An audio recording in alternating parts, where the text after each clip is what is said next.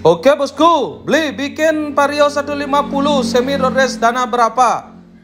Yang ini untuk semi harian. Jadi spek motor ini menggunakan piston 62. Ini menggunakan piston BRT untuk Vario 150 ini. Bloknya kita menggunakan blok standar. Kita lakukan proses overboss atau penggantian boringnya. Nih. Terus di bagian head kita lakukan proses porting. Portingnya seperti ini. Oke, dan nokan asnya kita ganti menggunakan master cam dari BRT. Dan di bagian yang lain seperti di CPT kita lakukan proses up CPT murmur.